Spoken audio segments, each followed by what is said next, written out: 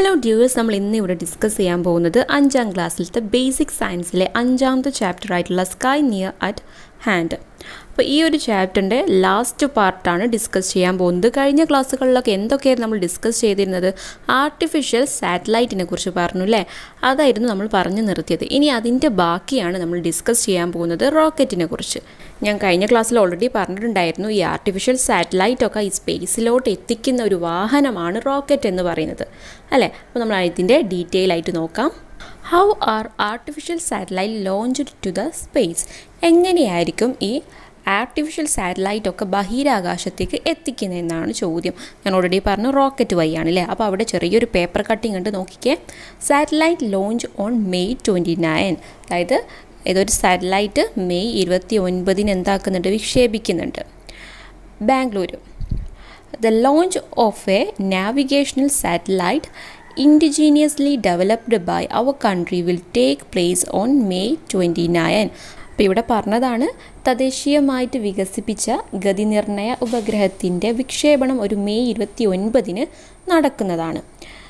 പിന്നെന്താണ്? The satellite will be placed into its orbit using G S L V F twelve അപ്പം G S L V F twelve എന്നിട്ട് എന്ന് പറഞ്ഞ rocket ഉപയോഗിച്ചിട്ടാണ് ഈ ഉപഗ്രഹത്തെ അതിന്റെ ഭ്രമണ പദത്തിലെത്തിക്കുന്നത് it will be race to its orbit by rocket in eighty minute അതായത് പതിനെട്ട് മിനിറ്റ് മിനിറ്റ് കൊണ്ട് റോക്കറ്റ് ഉപഗ്രഹത്തെ എവിടെ എത്തിക്കും?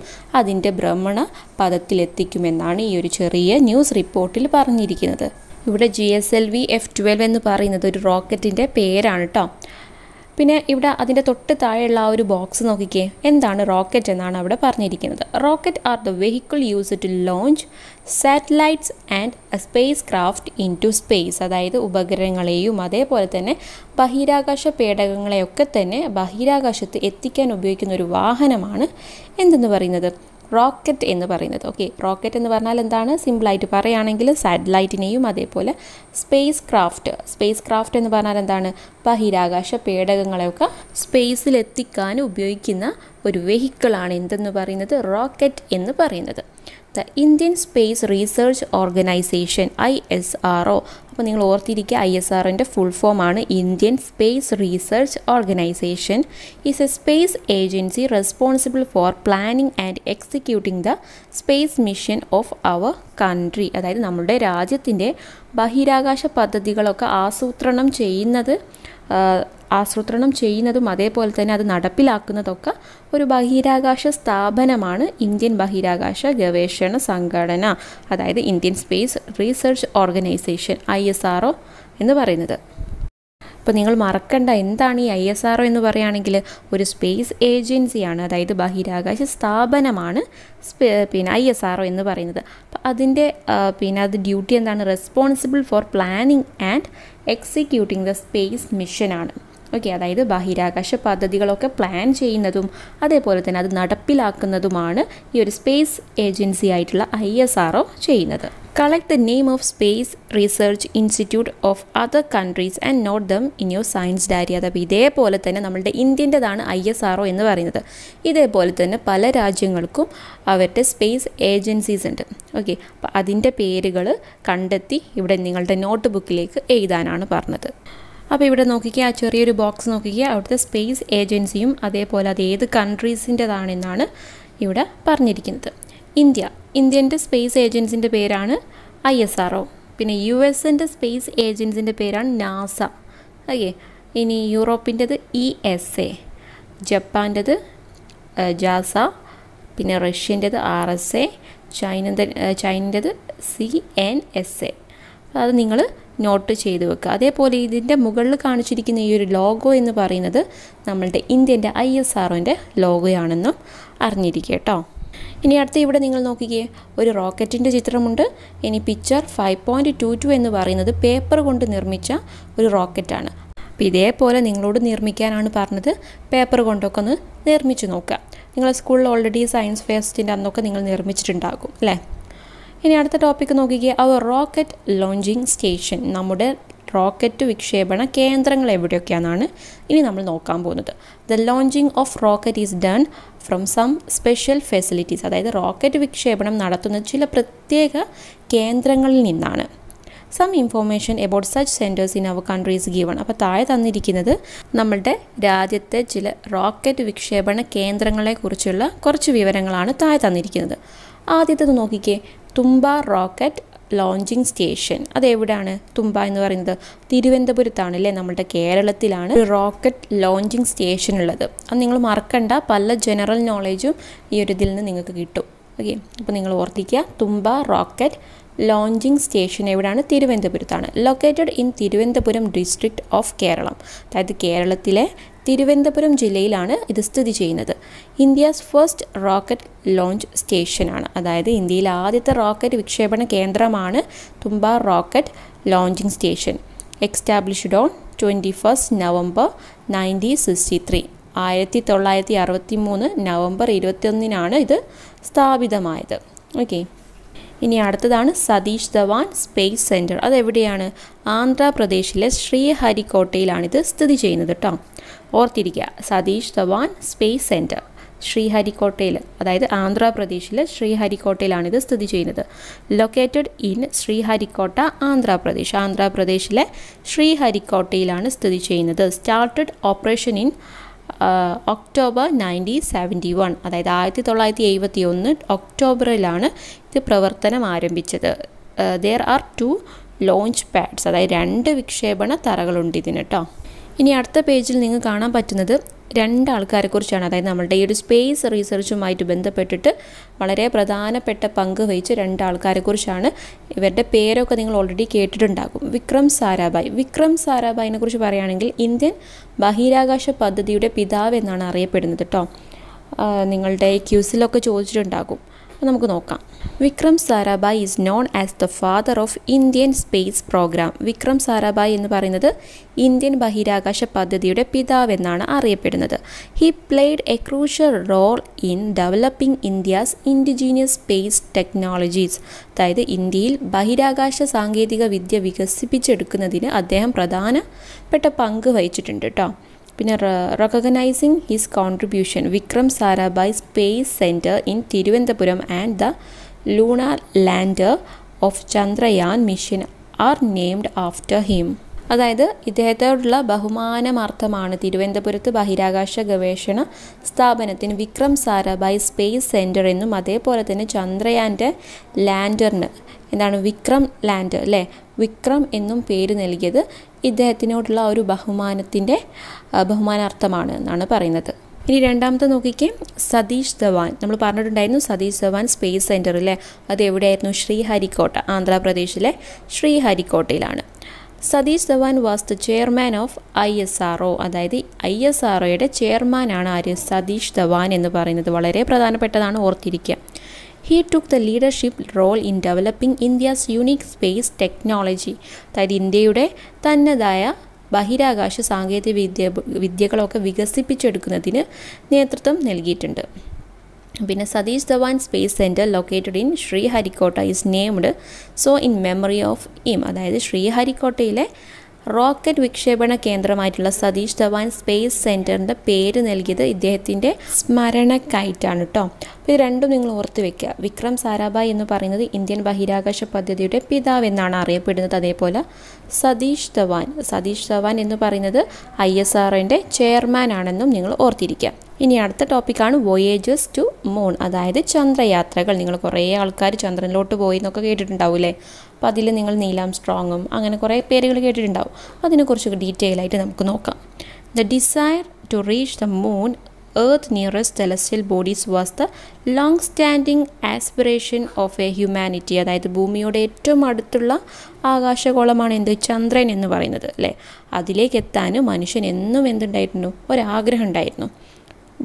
Was realised on July twenty one ninety sixty nine അപ്പോൾ ഈ ഒരു സ്വപ്നം സഫലമായതെന്നാണ് ആയിരത്തി തൊള്ളായിരത്തി അറുപത്തി ഒമ്പത് ജൂലൈ ഇരുപത്തി ഒന്നിനാണ് this was the result of continuous research since nineteen sixty അതായത് നയന്റി സിസ്റ്റി മുതൽ തന്നെ നടത്തിയ നിരന്തരമായിട്ടുള്ള ഗവേഷണങ്ങളുടെ ഫലമായിട്ടാണ് ഈ ഒരു നേട്ടം കൈവരിക്കാനായത് കേട്ടോ in NASA's Apollo eleven lunar exploration module astronaut Neil Armstrong and Edwin Aldrin first landed on the moon. അതായത് ഇവിടെ പറഞ്ഞെന്താണെന്ന് വെച്ചാൽ അമേരിക്കേന്റെ സ്പേസ് ഏജൻസി ആയിട്ടുള്ള നാസയുടെ അപ്പോളോ ലെവൻ എന്ന ചന്ദ്ര പര്യവേഷണ പേടകത്തിലാണ് നീലാം സ്ട്രോങ്ങും അതേപോലെ എഡ്വിൻ ആഡ്വിൻ എന്ന ബഹിരാകാശ സഞ്ചാരികളൊക്കെ ആദ്യമായിട്ട് ചന്ദ്രനിൽ എത്തിയത്. ഓക്കെ പിന്നെ അതാണ് പറഞ്ഞത് Michael Collins was the pilot of the spacecraft which took them to the moon. അതായത് മൈക്കിൾ കോളിൻസ് എന്ന് പറഞ്ഞിട്ടുള്ള മൂന്നാമത്തെ ആളാണ് ഇവർ സഞ്ചരിച്ച ആ ഒരു വാഹനം അല്ലെങ്കിൽ പേടകത്തിനെ നിയന്ത്രിച്ചത്. അപ്പോൾ മൂന്ന് ആൾക്കാരാണ് ഇവിടെ ചിത്രത്തിൽ നിങ്ങൾ കണ്ടില്ലേ? അതാരൊക്കെയാണ്? ഒന്ന് നീലാം സ്ട്രോങ് ആണ് പിന്നെ എഡ്വിൻ ആൽഡ്രിൻ ആണ് അതേപോലെ മൈക്കിൾ കോളിങ്സും ആണ് ഇവിടെ കാണിച്ചിരിക്കുന്നത്. എനിക്ക് ചെറിയൊരു ബോക്സ് ഉണ്ട് അതിൽ ദ സ്പേസ് വീക്ക് എന്ന് നിങ്ങൾ കാണാം. അതായത് നിങ്ങൾക്കറിയാലോ നമ്മൾ ഒക്ടോബർ നാല് മുതൽ ഒക്ടോബർ പത്ത് വരെ ബഹിരാകാശ വാരമായിട്ട് ആചരിക്കുന്നുണ്ട് അല്ലേ? ഇൻ ദ ഇന്റർനാഷണൽ സ്പേസ് വീക്കായിട്ടാണ് ആചരിക്കുന്നത്. അതെന്തുകൊണ്ടാണെന്നൊക്കെ പറയുന്ന ചെറിയൊരു ബോക്സാണ് അവിടെ കാണിച്ചിരിക്കുന്നത്. നോക്കിക്കേ the Sputnik one launched by the Soviet Union is the first artificial satellite അതായത് സോവിയറ്റ് യൂണിയൻ വിക്ഷേപിച്ച സ്പുട്നിക് വൺ ആണ് ആദ്യത്തെ ആർട്ടിഫിഷ്യൽ സാറ്റലൈറ്റ് എന്ന് അറിയപ്പെടുന്നത്. അതായത് എന്നാണ് ഇത് വിക്ഷേപിച്ചത്? The beginning of the space age is marked by its launch on October four nineteen fifty seven അതായത് ആയിരത്തി തൊള്ളായിരത്തി അൻപത്തി ഏഴ് ഒക്ടോബർ നാലിന് സോവിയറ്റ് യൂണിയൻ വിക്ഷേപിച്ച സ്പുഡിനിക് വൺ ആണ് ആദ്യത്തെ ആർട്ടിഫിഷ്യൽ സാറ്റലൈറ്റ് നിങ്ങൾ ഇമ്പോർട്ടന്റ് ആയിട്ട് അറിഞ്ഞിരിക്കേണ്ടത് കേട്ടോ സ്പുഡിനിക് വൺ ആണ് ആർട്ടിഫിഷ്യൽ സാറ്റലൈറ്റ് ആദ്യത്തെ ആർട്ടിഫിഷ്യൽ സാറ്റലൈറ്റ് എന്നറിയപ്പെടുന്നത് International Space Week is uh, observed annually from October 4 to 10. അതായത് എന്താണ് ഇവിടെ പറഞ്ഞിരിക്കുന്നത്? ഇതിന്റെ വിക്ഷേപണത്തോടെയാണ് ബഹിരാകാശ യുഗം ആരംഭിക്കുന്നത്. അതായത് അന്ത അന്താരാഷ്ട്ര തലത്തിൽ ഒക്ടോബർ നാല് മുതൽ പത്ത് വരെ ബഹിരാകാശ വാരമായിട്ട് ആചരിക്കുന്നത് it is observe to commemorate the launch of Sputnik one and the signing of the international outer space treaty to use outer space only for peaceful purpose on October ten nineteen sixty seven അപ്പോൾ എന്തുകൊണ്ടാണ് നമ്മൾ ഈ ഒരു international space വീക്കായിട്ട് ആചരിക്കുന്നത്? അതായത് October നാല് മുതൽ പത്ത് വരെ എന്തുകൊണ്ടാണ് ആചരിക്കുന്നത് എന്നുള്ളതാണ് ഇവിടെ പറഞ്ഞിരിക്കുന്നത്. എന്താണ്? സ്പുഡിനിക് വൺ വിക്ഷേപണത്തിന്റെയും അതേപോലെ ആയിരത്തി തൊള്ളായിരത്തി അറുപത്തിയേഴ് ഒക്ടോബർ പത്തിന് നിലവിൽ വന്ന ഒരു അന്താരാഷ്ട്ര ബഹിരാകാശ സമാധാന ഉടമ്പടിയുടെയും ഓർമ്മയ്ക്കായിട്ടാണ് നമ്മൾ ഈ ഒരു വീക്ക് ഇന്റർനാഷണൽ സ്പേസ് വീക്കായിട്ട് ആചരിക്കുന്നത്. എന്തൊക്കെയാണ് കാരണം എന്താണ്? ഒക്ടോബർ നാലിന് സ്പുഡിനിക് വൺ ലോഞ്ച് ചെയ്തതിന്റെയും അതേപോലെ ഒക്ടോബർ പത്തിന് ഒരു സമാധാന ഉടമ്പടി ഇറക്കിയതിന്റെയും ഒരു ഓർമ്മയ്ക്കായിട്ടാണ് ഈ പിന്നെ ഇത് നമ്മൾ ഇതേപോലെ ആചരിക്കുന്നത് കേട്ടോ ഇനി അടുത്തൊരു ഇമ്പോർട്ടന്റ് ആയിട്ടുള്ള ടോപ്പിക്കാണ് ഇന്ത്യാസ് ലൂണാർ മിഷൻ അതായത് ഇന്ത്യയുടെ ചാന്ദ്ര ദൗത്യങ്ങളെക്കുറിച്ചാണ് ഇനി നമ്മൾ പഠിക്കാൻ പോകുന്നത്. Our nation conduct lunar exploration mission in the name Chandrayaan. Chandrayaan എന്ന പേരിൽ നമ്മുടെ രാജ്യം ലൂണാർ എക്സ്പ്ലോറേഷനൊക്കെ നടത്തിക്കൊണ്ടിരിക്കുന്നുണ്ട്. അതായത് ചാന്ദ്ര പര്യവേഷണ ദൗത്യങ്ങളൊക്കെ നടത്തിക്കൊണ്ടിരിക്കുന്നുണ്ട്. Chandrayaan one Chandrayaan two Chandrayaan three എന്നൊക്കെ പറഞ്ഞ് നിങ്ങൾ കേട്ടിട്ടുണ്ടാവും. ഈ ചന്ദ്രയാൻ ത്രീ നമ്മളുടെ ഈ കഴിഞ്ഞ വർഷം അല്ലേ ജൂലൈ പതിനാല് രണ്ടായിരത്തി ഇരുപത്തി മൂന്നിനാണ് അത് ലോഞ്ച് ചെയ്തത്. അതേപോലെ അവിടെ ലാൻഡ് ചെയ്തത് എന്നായിരുന്നു? ആ ഓഗസ്റ്റ് ഇരുപത്തി മൂന്ന് രണ്ടായിരത്തി ഇരുപത്തി മൂന്നിലാണ് അല്ലേ? അപ്പോൾ ഇതൊക്കെ നിങ്ങൾ വാർത്തയിലൊക്കെ കണ്ടിട്ടുണ്ടാകും പേപ്പറിലൊക്കെ വായിച്ചിട്ടുണ്ടാകും നിങ്ങൾ. അപ്പോൾ നമുക്ക് നോക്കാം ചന്ദ്രയാൻ വണ്ണിനെ കുറിച്ച് നമുക്കൊന്ന് നോക്കാം. Chandrayaan one is the first lunar exploration mission of our nation അതായത് നമ്മുടെ രാജ്യത്തിന്റെ ആദ്യ ചന്ദ്രപര്യവേഷണ പേടകമാണ് ചന്ദ്രയാൻ വൺ എന്ന് പറയുന്നത്. It was launched on October twenty two two thousand eight from Sriharikota അതായത് ഒക്ടോബർ ഇരുപത്തിരണ്ടിന് ശ്രീഹരിക്കോട്ടയിൽ നിന്നാണ് ഇത് വിക്ഷേപിച്ചത് കേട്ടോ it enter the moon's orbit at an at altitude of 100 kilometre and conducted studies of the lunar surface. അതായത് ചന്ദ്രന്റെ നൂറ് കിലോമീറ്റർ അകലെയുള്ള പരിക്രമ പദത്തിലൂടെ ചുറ്റി സഞ്ചരിച്ച് ചന്ദ്രന്റെ ഉപരിതലത്തെക്കുറിച്ച് പഠനം നടത്തുകയാണ് ചന്ദ്രയാൻ വൺ ചെയ്തത്. അപ്പോൾ നിങ്ങൾ ഓർക്കേണ്ടത് ഇത്രയേ ഉള്ളൂ. അതായത് ചന്ദ്രയാൻ വണ്ണും ചന്ദ്രയാൻ ടൂവും ചന്ദ്രയാൻ ത്രീ ഒക്കെ തന്നെ ചന്ദ്രനെക്കുറിച്ച് പഠനം നടത്തുക എന്നുള്ള ലക്ഷ്യത്തോടെയാണ് വിക്ഷേപിക്കുന്നത്. അപ്പോൾ ഈ ചന്ദ്രയാൻ വണ്ണ് എന്നാണ് വിക്ഷേപിച്ചത്? അതായത് എന്നാണ് ലോഞ്ച് ചെയ്തത്? വിക്ഷേപണം എന്ന് പറയുന്നതിന്റെ ഇംഗ്ലീഷാണ് ലോഞ്ച് ഓക്കെ എന്നാണ് ചെയ്തത്? ആ അതായത് ഒക്ടോബർ ഇരുപത്തിരണ്ട് രണ്ടായിരത്തി എട്ടിലാണ് ശ്രീഹരിക്കോട്ടയിൽ നിന്നാണ് ഈ ഒരു ചന്ദ്രയാൻ വണ്ണ് ലോഞ്ച് ചെയ്തത്. അപ്പോൾ ഇതിന്റെ മെയിൻ ചന്ദ്രന്റെ നൂറ് കിലോമീറ്റർ അകലെയുള്ള ഓർബിറ്റിലൂടെ ചുറ്റി സഞ്ചരിച്ച് ചന്ദ്രനെക്കുറിച്ച് അല്ലെങ്കിൽ ചന്ദ്രന്റെ സർഫസിനെ കുറിച്ച് ഉപരിതലത്തിനെ കുറിച്ച് പഠനം നടത്തുകയാണ് ആര് ചെയ്തത്? ചന്ദ്രൻ വണ്ണ് ചെയ്തത്. ആ ചന്ദ്രന്റെ ആ ഒരു സർഫസ് എങ്ങനെയാണ്? അങ്ങനെ അതിനെക്കുറിച്ചൊക്കെ പഠനം നടത്തുക. ഓക്കെ ഇനി ചന്ദ്രയാൻ ടുവിനെ കുറിച്ച് നോക്കുകയാണെങ്കിൽ Chandrayaan two is the India second lunar exploration mission launched on July two two thousand ninety അതായത് ഇന്ത്യയുടെ രണ്ടാമത്തെ ചാന്ദ്ര പര്യവേഷണ പേടകമാണ് ചാന്ദ്രയാൻ ടു എന്ന് പറയുന്നത്. അത് വിക്ഷേപിച്ചെന്നാണ് രണ്ടായിരത്തി പത്തൊമ്പത് ജൂലൈ ഇരുപത്തിരണ്ടിനാണ് അതിന്റെ വിക്ഷേപണം നടന്നത് കേട്ടോ its goal was to study the features of rock and soil on lunar surface അപ്പം അതിന്റെ എയിം എന്താണ്? ചാന്ദ്രയാൻ ടുവിന്റെ എയിം എന്ന് പറഞ്ഞാൽ ചന്ദ്രനിൽ ഇറങ്ങിയിട്ട് പാറകളുടെയും അതേപോലെ മണ്ണിന്റെയൊക്കെ പ്രത്യേകത പഠിക്കുകയാണ് അതിന്റെ ലക്ഷ്യം. പക്ഷേങ്കിൽ ഇത് ഫെയിൽഡ് ആയിട്ടുള്ള ഒന്നാണ്. ചന്ദ്രയാൻ ടു എന്ന് പറയുന്നത് ഫെയിൽഡ് ആയതാണ്. ഇനി ചന്ദ്രയാൻ ത്രീന്റെ നോക്കാം. Chandrayaan three is the first mission to land on the south pole of the moon അതായത് ഞാൻ പറഞ്ഞിട്ടുണ്ടായിരുന്നു ചന്ദ്രയാൻ ത്രീ എന്ന് പറയുന്നത് നമ്മളുടെ ഈ കഴിഞ്ഞ വർഷം പിന്നെ ജൂലൈ പതിനാലിന് വിക്ഷേപിച്ചതായിരുന്നു അല്ലേ? അപ്പം അതിന്റെ പ്രത്യേകത നോക്കിക്കേ. ചന്ദ്രന്റെ ദക്ഷിണ ധ്രുവത്തിൽ ദക്ഷിണ ധ്രുവം എന്ന് പറഞ്ഞാൽ സൗത്ത് പോളിൽ ഇറങ്ങി ഇറങ്ങിയ ആദ്യ പേടകമാണ് എന്തെന്ന് പറയുന്നത് ചന്ദ്രയാൻ ത്രീ എന്ന് പറയുന്നത് കേട്ടോ. ആദ്യമായിട്ട് ചന്ദ്രന്റെ സൗത്ത് പോളിൽ ഇറങ്ങിയിട്ടുള്ള ആദ്യത്തെ പേടകമാണ് ചന്ദ്രയാൻ ത്രീ എന്ന് പറയുന്നത്. പിന്നെ എന്താണ് it was launched on July fourteen two thousand twenty three ഞാൻ പറഞ്ഞു ഇത് ലോഞ്ച് ചെയ്തത് ജൂലൈ പതിനാലിന് രണ്ടായിരത്തി ഇരുപത്തി മൂന്നിലാണ് it landed on the lunar surface on August twenty three two thousand twenty three അതായത് ഓഗസ്റ്റ് ഇരുപത്തി മൂന്നിനാണ് അത് നമ്മളുടെ ചന്ദ്രന്റെ സർഫസിൽ ഇറങ്ങിയത്. The rover separated from it roamed on the lunar surface and conducted experiment അതായത് ഈ ഒരു ചന്ദ്രയാൻ ത്രീയിൽ നിന്ന് റോവർ റോവർ അതിൽ നിന്ന് സെപ്പറേറ്റ് ആയിട്ട് റോവറാണ് അവിടെയുള്ള പരീക്ഷണങ്ങളൊക്കെ കണ്ടക്ട് ചെയ്യുന്നത്. അതായത് ഈ ഒരു മൂണിന്റെ സർഫസിലെ സർഫസിനെ കുറിച്ചുള്ള പരീക്ഷണങ്ങളൊക്കെ കണ്ടക്ട് ചെയ്യുന്നത് ഈ റോവറാണ് ഇനി അടുത്തതാണ് അതർ ഇന്ത്യൻ പ്രൊജക്റ്റ് മറ്റ് ഇന്ത്യൻ പദ്ധതികളാണ് പറയാൻ പോകുന്നത്. We have projects to study not only about the moon but about the other celestial bodies അതായത് നമ്മൾ ചന്ദ്രനെ പറ്റി മാത്രമല്ല പഠിക്കുന്നത് അല്ലേ മറ്റ് ആകാശഗോളങ്ങളെ പറ്റിയൊക്കെ നമ്മൾ എന്ത് ചെയ്തിട്ടുണ്ട്? ആ അതിനെക്കുറിച്ചൊക്കെ പഠിക്കാനുള്ള പദ്ധതികളുണ്ട്. അപ്പോൾ താഴെ തന്നിരിക്കുന്നത് അങ്ങനത്തെ കുറച്ച് കാര്യങ്ങളാണ്. നോക്കിക്കുക മിഷൻ മംഗളിയാൻ മംഗളിയാൻ എന്തിനെക്കുറിച്ച് പഠിക്കാനായിരുന്നു? ആ ചൊവ്വ പര്യവേഷണമാണ് അതായത് മാസിനെ കുറിച്ച് പഠിക്കാനുള്ളതായിരുന്നു മംഗളിയാൻ എന്നുള്ളത്. ആ ഒരു മിഷൻ. പിന്നെ ആദിത്യ എൽ വൺ. അതിന്റെ പ്രധാന ലക്ഷ്യം എന്തായിരുന്നു? അതിന്റെ എയിം അല്ലെങ്കിൽ ഒബ്ജക്റ്റീവ് എന്തിനെക്കുറിച്ച് പഠിക്കാനായിരുന്നു? സോളാർ എക്സ്പെഡിഷനാണ്. അതായത് സൂര്യനെ കുറിച്ച് പഠിക്കാനാണ് ആദിത്യ എൽവൻ. പിന്നെ ഗംഗനിയാണ്. ഗംഗനിയാൻ എന്തിനെക്കുറിച്ച് പഠിക്കാനായിരുന്നു? ബഹിരാകാശ പര്യവേഷണമാണ്. അതായത് സ്പേസിനെ കുറിച്ച് പഠിക്കുന്ന അതാണ് ഗംഗനിയാൻ എന്ന് പറയുന്നത്. അതൊക്കെ നിങ്ങൾ നന്നായിട്ടൊന്നും മനസ്സിലാക്കി വെക്കുക കേട്ടോ മംഗളിയാൻ എന്തിനെക്കുറിച്ച് പഠിക്കുന്നതാണ്? ആദിത്യ എൽവൻ എന്തിനെക്കുറിച്ച് പഠിക്കുന്നതാണ്?